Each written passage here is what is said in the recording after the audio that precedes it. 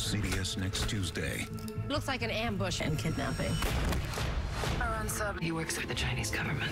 You need to stand down from this operation. This is a man's life at stake here. Sure this is going to work? One way to find out.